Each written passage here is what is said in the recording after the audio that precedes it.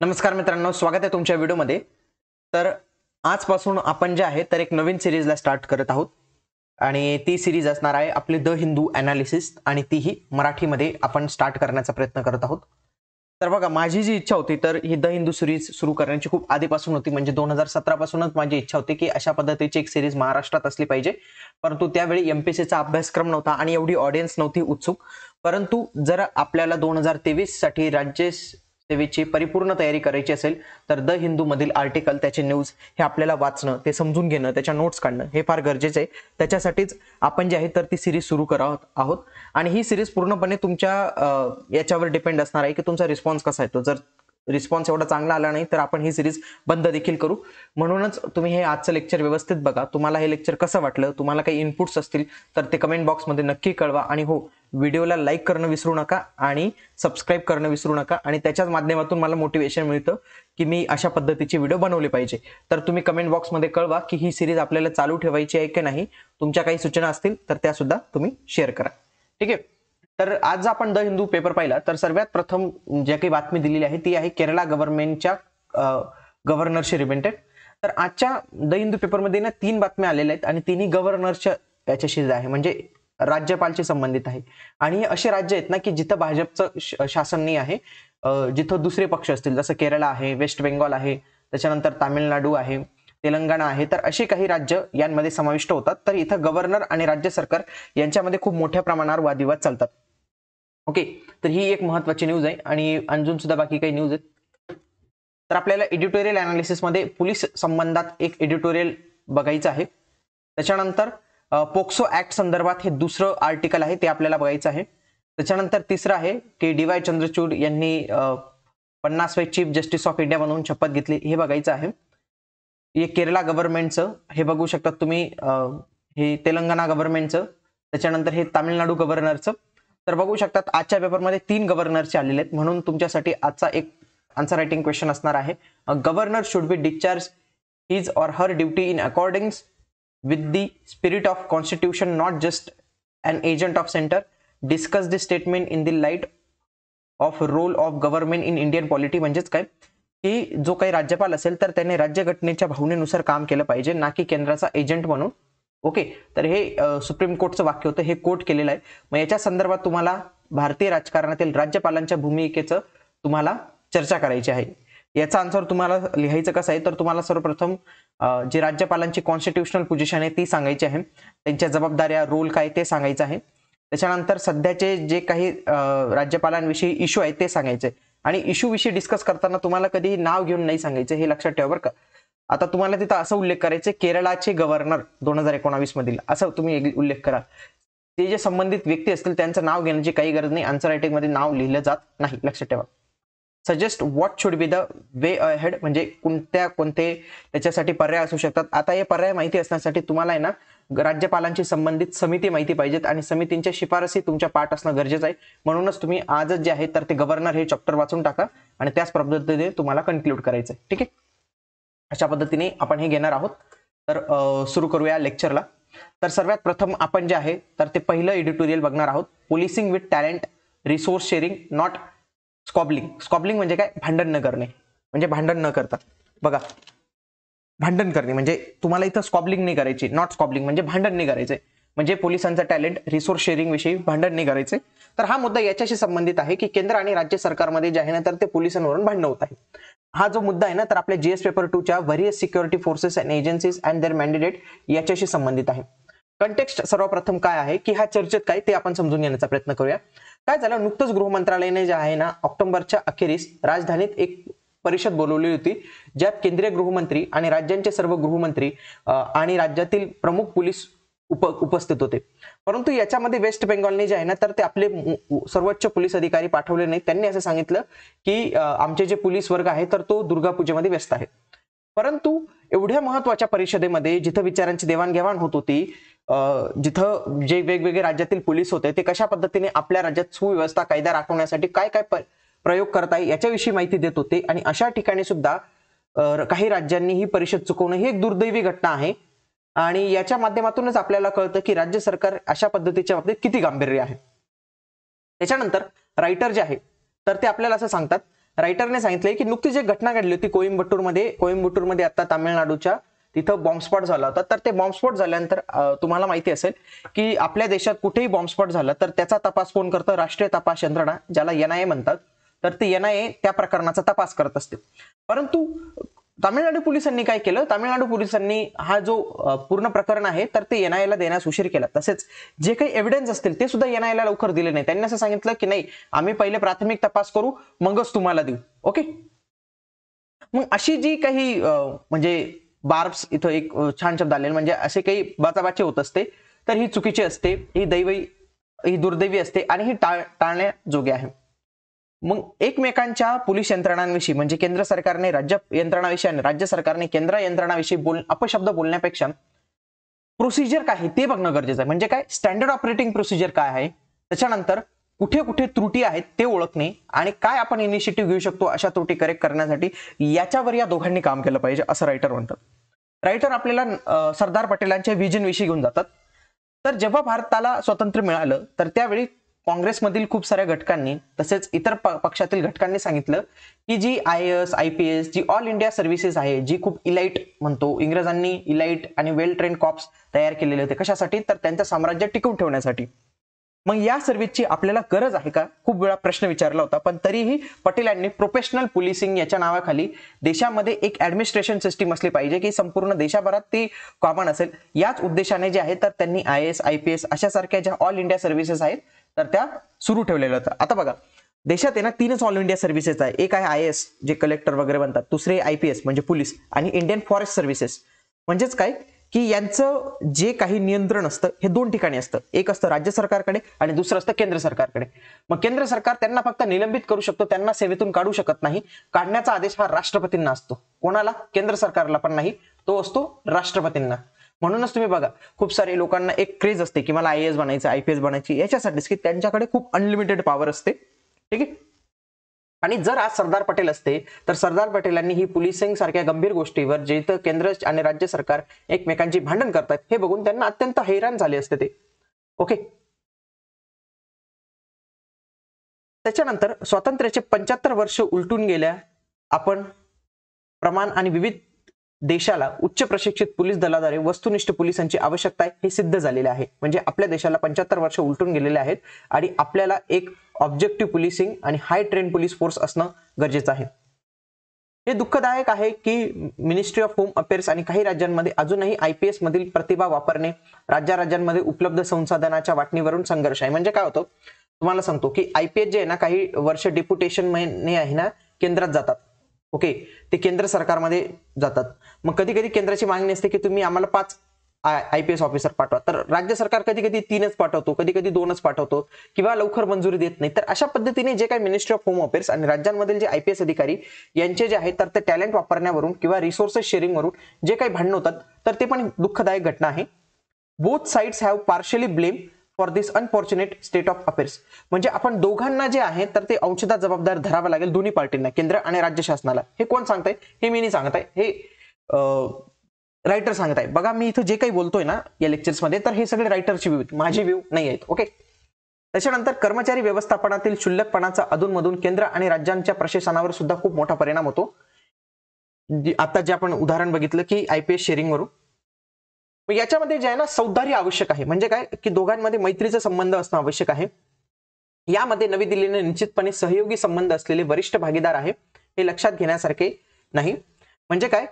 की New Delhi is the senior partner in what definitely collaborative relationship. म्हणजेच काय? की नवी दिल्लीलाच हे थोडंसं इनिशिएटिव्ह घ्यावं लागेल. But there have been actions over the decades have been inflected many deep wounds on public order.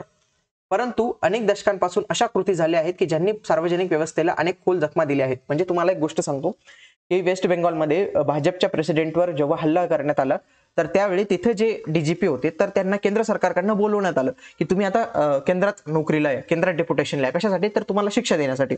तर अशा पद्धतीने दिल्लीमध्ये दिल्ली म्हटल्यानंतर केंद्र सरकार लक्षात ठेवायचं. तर दिल्ली आणि राज्य सरकारांमध्ये अशा काही गोष्टी होतात ना त्याच्यामध्ये त्यांचे संबंध थोडेसे बिघडून जातात. त्याच पद्धतीने अशा परिस्थितीत आहे की मोठ्या प्रमाणात प्रशिक्षित पोलिसांची मागणी केली जात आहे. Centre has always clip the support from the central reserve force. केंद्राने नेहमीच केंद्रीय राखीव पोलीस दलाचे समर्थन केलेले आहे. म्हणजेच काय? की कधी कधी काय होतं? राज्य सरकारच्या परमिशन विना खूप वेळा जे आहे ना केंद्रीय राखीव पोलीस दल एखाद्या ठिकाणी तैनात केलं जातं. तर त्याच्यावर सुद्धा राज्य सरकारांचे काही ऍक्सेप्ट आहेत. त्याच्यानंतर border security force Indo Tibetan force त्याच्यानंतर सीआयएसएफ यांसारख्या अनेक संघटना ज्या आहेत ना तर त्या राज्य पोलिसांसोबत काम करत असतात. त्यामुळेच मिनिस्ट्री ऑफ होम अफेअर्स म्हणजे केंद्र सरकार आणि राज्य पोलिसांनी आपली भांडण थांबवणे गरजेचं आहे आणि आपले संबंध मजबूत आणि सौदार्य करण्यासाठी प्रयत्न करणं गरजेचं आहे. सेंट्रल ब्युरो ऑफ इन्व्हेस्टिगेशन म्हणजे सीबीआय सीबीआयचा आता तुम्ही दिवसभरात शब्दने ऐकला तर तो दिवस वाया जातो असं वाटतं कधी कधी तर सेंट्रल ब्युरो ऑफ इन्व्हेस्टिगेशनच्या वापरावरून सुद्धा केंद्र आणि राज्य शासनामध्ये वादविवाद निर्माण होण्याची शक्यता असते. का होतं?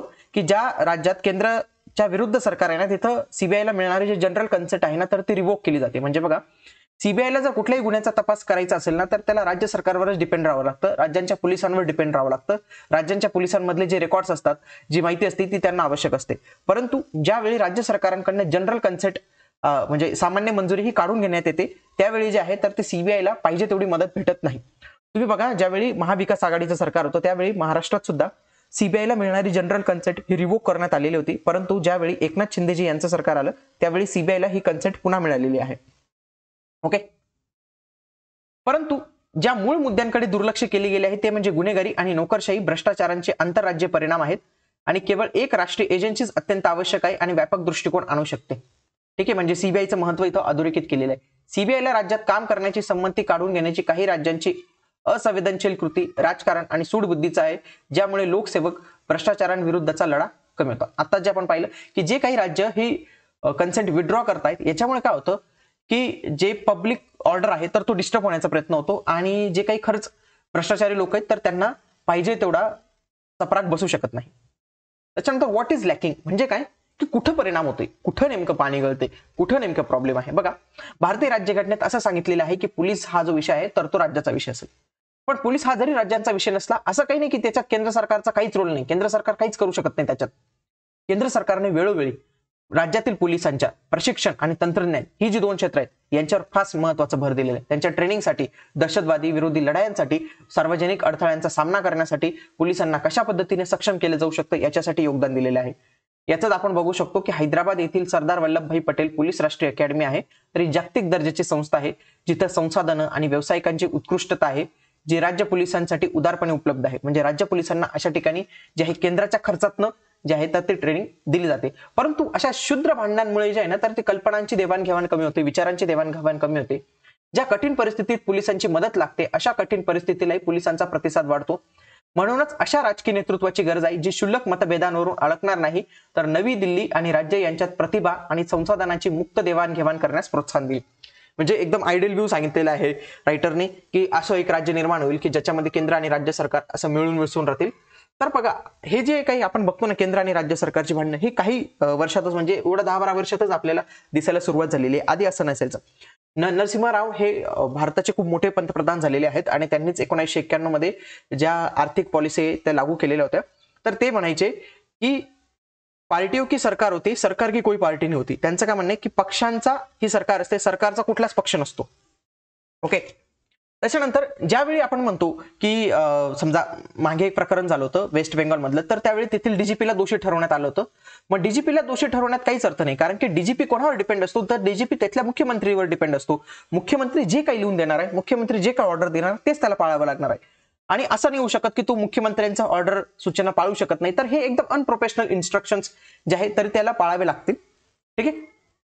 Despite all that supreme court of India has done insulated chief police from the political corpus. The truth is that DGPs previously placed vice via chief ministers and his her party mans म्हणजे काय? भारताच्या सर्वोच्च न्यायालयाने police प्रमुखांना राजकीय कात्रींपासून दूर ठेवण्याचा किती प्रयत्न केला तरी आपल्याला दिसून येते की हे जे डीजीपी असतात किंवा राज्य पोलिसांच्या व्यक्ती असतात तर त्यांना जे आहे तर ते राजकीय व्यक्तींचा खूप मोठा परिणाम असतो. ठीक आहे. मग हे खेदजनक आहे की देशातील जनमताने सरकारच्या सर्व पोलिसिंगची अधिक चांगली भावना देण्यासाठी स्वतःला ठामपणे सांगितले नाही. येत्या काही वर्षात ही परिस्थिती सुधारेल अशी सुद्धा कल्पना रायटरला वाटत नाही. तर ही सगळी रायटरची व्ह्यू होते.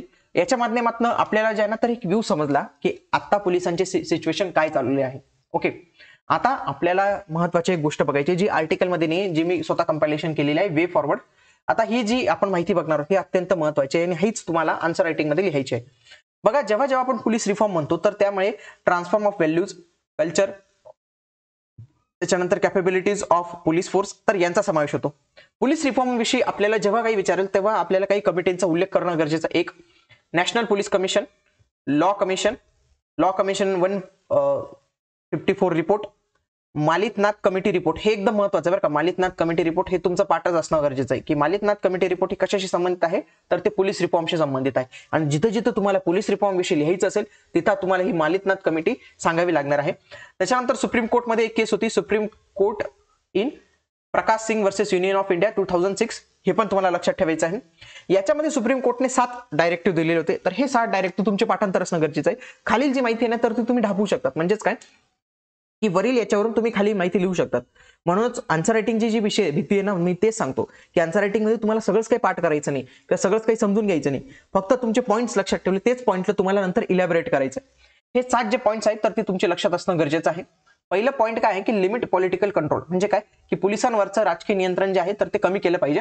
याच्यासाठी स्टेट सिक्युरिटी कमिशन इन्शोर केलं पाहिजे की जे सगळ्या गोष्टी करणार आहे. पुढचं appointment base on the merit तुम्ही बघा सचिन वाजे यांची नियुक्ती करण्यात आलेली होती. त्याच्यानंतर अनेक पोलीस अधिकाऱ्यांची नियुक्ती करण्यात आली. ही मेरिटनुसार करण्यात आली होती. हे फक्त राजकीय डिसिजन घेण्यात आलेलं होतं. त्याच्यानंतर फिक्स मिनिमम टेन्युअर तुम्ही बघा आता पोलीस अधिकाऱ्यांना काही कार्यकाळाची शाश्वती नसते. म्हणजेच काय? समजा त्यांना पुण्यामध्ये ट्रान्सफर केला आणि त्यांनी पुण्याची गुन्हेगारी कमी करण्याचा प्रयत्न केला तर त्यांचं लगेच ट्रान्सफर केलं जातं. म्हणजेच त्यांना मिनिमम टेन्युअर नाही. तर यांचं असं म्हणणं आहे की मिनिमम त्यांना दोन वर्षाचा तरी टेन्युअर असणं गरजेचं आहे. सेपरेट पोलीस फंक्शन्स तुम्हाला सांगतो आपण जेव्हा पोलीस म्हणतो तर आपल्या डोळ्यासमोर काय येतं? कायदा आणि सुव्यवस्था राखणार दल. मग इथं दोन शब्द आहेत. कायदा प्लस सुव्यवस्था. म्हणजे मी काय म्हणतो लॉ अँड ऑर्डर हा लॉ आहे हा ऑर्डर आहे. हे दोन्ही कामं पोलीस संबंधात म्हणजे काय? तुम्हाला उदाहरण देतो. की काल संजय राऊत जे आहे तर ते जेलमधून सुटले. त्यांनी खूप मोठा जंगी स्वागताचा कार्यक्रम केला. आता एवढा जंगी स्वागताचा कार्यक्रम केला की त्याच्यासाठी पोलीस आणावी लागले. पोलिसांना पूर्ण मुंबईमध्ये ते घेराबंदी करावी लागली. मग जे पोलीस लॉचं काम करत होते. म्हणजेच काय? समजा एखादा गुन्हा असेल चोरी झाली असेल दरोडा झाला असेल त्या गुन्ह्याची चौकशी करत असतील. तर त्यांना ते सगळं काम सोडून हे सुव्यवस्थेचं काम करावं लागलं. समजलं का तुम्हाला? म्हणूनच यांचं असं म्हणणं आहे की लॉ अँड ऑर्डर हे दोन वेगळ्या गोष्टी पाहिजेत. म्हणजे तुम्ही बघा सीबीआय तुम्हाला दिसते का कुठं? की ऑर्डरचं काम सांभाळते किंवा कुठं दंगा झाला तिथं सीबीआय गेली. सीबीआय काय करते? लॉचं काम करते. म्हणजेच काय?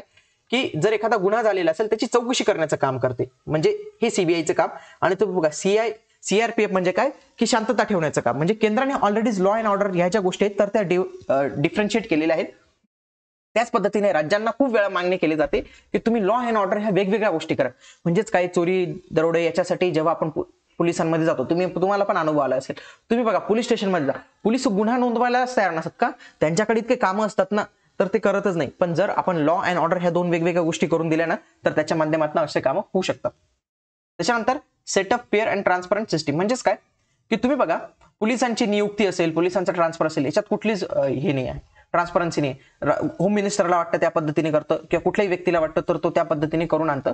यांचं असं म्हणणं आहे की पोलीस इस्टॅब्लिशमेंट बोर्ड डेव्हलप केलं पाहिजे. जो ट्रान्सफर पोस्टिंग प्रमोशन्स आणि अदर सर्व्हिस रिलेटेड जे काही मॅटर असतील तर ते हाताळणार आहे. पुढे? Establish a police complaint authority in it state म्हणजेच काय? पोलीस तक्रार प्राधिकरणाची स्थापना करावी. आता बघा तुम्हाला जर एखादा पोलिसांविषयी तक्रार केली जातं तुम्हाला पोलिसांमध्ये जावं लागतं. म्हणजेच काय? की ज्या डिपार्टमेंटविषयी तक्रार करायची त्या डिपार्टमेंटमध्ये जावं लागतं. मग याच्या माध्यमातून काय होतं की तुमची सुनवाई होऊ शकत नाही. म्हणून त्यांचं काय म्हणणं आहे एक सेपरेट पोलीस अथॉरिटी करा. Set up a selection commission म्हणजेच काय? National security commission needs to be set up at union level to prepare panel for selection and placement of chief of central police organisation within minimum of two years म्हणजे त्यांचं काय म्हणणं एक national security commission सुद्धा पाहिजे union लेवलला मग कन्क्ल्युजनमध्ये आपण काय म्हणू शकतो? की दोन हजार चौदा मध्ये जेव्हा कॉन्फरन्स होते डीजीपीची दोन हजार चौदा मध्ये तर त्यावेळी नरेंद्र मोदी यांनी स्मार्ट पोलीस हा शब्द दिलेला होता. त्याच्यामध्ये strict and sensitive modern and mobile alert and accountable reliable and response and techno savvy and train तर हे तुम्हाला लिहायचं बघा असे जे शब्द आहेत ना तर ते तुम्हाला तुमच्या आन्सरमध्ये लिहायचे आहेत. हे स्मार्ट शब्द. बघा हा स्मार्ट शब्द. ओके की नरेंद्र मोदीजी म्हणजे भारताचे पंतप्रधान यांनी सुद्धा दोन हजार चौदा मध्ये डीजीपीच्या कॉन्फरन्समध्ये स्मार्ट पोलीस अशी जी आहे तर ती संकल्पना प्रस्तुत केलेली होती. अशा पद्धतीने आपण पहिलं एडिटोरियल संपवलेलं आहे. आता आपण दुसऱ्या एडिटोरियलकडे जाऊया. त्यातही संमती विचारात घेणे. बघा पोक्सो ऍक्ट काय सांगतो? पोक्सो ऍक्टनुसार असं म्हणणं आहे की ज्या काही व्यक्तींचं वय अठरा वर्षांपेक्षा कमी असेल आणि त्यांनी जर लैंगिक संबंध ठेवले असेल तर त्या रेपच्या कॅटेगरीमध्ये जातात. पण तुम्ही बघा आजकालची मुले जे आहेत खूप तरुण झालेले आहेत. आणि मी तर असं बघतो की बारा तेरा वर्षाची मुलं सुद्धा प्रेमात पडून जातात. आणि काही वेळेला काय होतं की सोळा वर्षाचा सोळा वर्षाची मुलगी आणि एकवीस वर्षाचा मुलगा हे प्रेमात पडतात पळून जातात. त्यांचे घरवाले काय करतात केस करून देतात. जरी त्या मुलीची संमती असेल तरी पण त्यानंतर त्याच्यावर बलात्काराची गुन्हा पण दाव- नोंदवू देतात. कशासाठी? कारण की सोळा वर्षाची. याच्यामध्ये असं आहे की तुमची कन्सेंट असेल तरी बघा. रेपच्या केसेसमध्ये सगळ्यात महत्वाची गोष्ट काय असते? कन्सेंट संमती. म्हणजे जर काही लैंगिक संबंध दोघांच्या संमतीने झालेले असतील तर अशा वेळी बलात्काराची केस ही नोंदवून घेतली जात नाही. परंतु पोक्सो ऍक्टमध्ये असं म्हणण्यात आलंय की ज्या काही व्यक्तींची वय अठरा वर्षाच्या कमी असेल आणि जरी त्यांनी लैंगिक संबंध ठेवला असेल तरी त्यांच्यावर बलात्काराची गुन्हा ही दाखल करण्यात येऊ शकते. मग हा जो संपूर्ण जो एडिटोरियल आहे ना हेच सांगतो की अठराचं वय आहे ना तर ते सोळा करणं गरजेचं आहे. कारण की आजकालच्या मुला मुलींमध्ये जे वाढतं आकर्षण आहे तर याच्या माध्यमातून खूप मोठ्या प्रमाणावर कॉम्प्लिकेशन्स येत आहेत. आणि हेच कर्नाटक उच्च न्यायालयाच्या धारवाड खंडपीठाने सुद्धा भारतीय कायदा आयोगाला म्हणजे इंडियन लॉ कमिशनला सांगितलेलं आहे की तुम्ही याच्यावर लवकरच जे आहे तर ते विचार करा आणि सोळा वर्षांपेक्षा जास्त वयांसाठी ही जे आहे तर ते ऍप्लिकेबल करा. ओके? तर हेच होतं दुसरं. त्याच्यानंतर तिसरी न्यूज बघायची आहे धनंजय चंद्रचूड हे देशाचे पन्नासवे सरन्यायाधीश बनलेले आहेत. आणि तुम्ही बघू शकतात की हे आणखी एक मराठमोळी न्यायाधीश बनलेले आहेत. बघा धनंजय चंद्रचूड यांनी पन्नासवे सरन्यायाधीश म्हणून शपथ घेतलेली आहे. राष्ट्रपती भवनात झालेल्या शपथविधी सोहळ्यात राष्ट्रपती द्रौप- द्रौपदी मुर्मू यांनी त्यांना शपथ दिलेली आहे आणि हे पुढील दोन वर्ष कार्यरत राहणार आहे. तुम्ही जर बघितले ना आधी एन. व्ही रमन्ना असतील उदय उदयजी असतील तर हे एकदम कमी कालावधीसाठी राहिलेले होते. परंतु धनंजय चंद्रचूड हे असे व्यक्ती असतील की जे जवळपास दोन काल दोन वर्ष कालावधीसाठी असतील. म्हणजेच काय? की दोन हजार चोवीसच्या निवडणुका सुद्धा यांच्याच कालावधीच्या दरम्यान होणार आहेत. धनंजय चंद्रचूड यांचे वडील जे आहेत ना वाय व्ही चंद्रचूड हे एक फेमस सरन्यायाधीश होते. म्हणजे सरन्यायाधीशांचा मुलगा सुद्धा सरन्यायाधीश होणे हे आपल्या देशातील पहिली बाब होती. तर ते अठ्याहत्तर ते पंच्याऐंशी या काळात भारताचे सरन्यायाधीश होते. म्हणजे त्यांचा पण कार्यकाल खूप मोठा होता बघा. अठ्याहत्तर ते पंच्याऐंशी त्यांचा पण कार्यकाल खूप मोठा होता. न्यायमूर्ती चंद्रचूड यांनी तब्बल सात वर्ष चार महिने इतका सर्वाधिक कार्यकाल न्यायाधीशा पदावर राहिले. वडिलांनंतर सर्वोच्च पदावर पोहोचलेले न्यायमूर्ती धनंजय चंद्रचूड यांनी शपथ घेतली आहे. पुण्यातील कर्रे सर हे न्यायमूर्ती चंद्रचूड यांचे मूळ गाव आहे. चंद्रचूड यांनी एकोणतीस मार्च ते एकतीस ऑक्टोबर दोन हजार तेरा या काळात मुंबई उच्च न्यायालयाचे न्यायाधीश होते ते. त्याच्यानंतर त्यांची नियुक्ती अ, अलाहाबाद उच्च न्यायालयाचे न्यायाधीश म्हणून करण्यात आलेली आहे. आपल्याला प्रिलिममध्ये हा प्रश्न विचारू शकतात बरं का ते कुठं कुठं होते. तर ते मुंबई उच्च न्यायालयात न्यायाधीश होते. अलाहाबाद न्यायाधीशात उच्च न्यायालयात न्यायाधीश होते. दोन हजार अठरा मध्ये धनंजय चंद्रचूड यांनी व्याभिचाराला गुन्हा मानणाऱ्या कायद्याला रद्द केलं होतं. पाच न्यायमूर्तीच्या खंडपीठाने हा निर्णय दिला होता. त्यापैकी चंद्रचूड एक होते.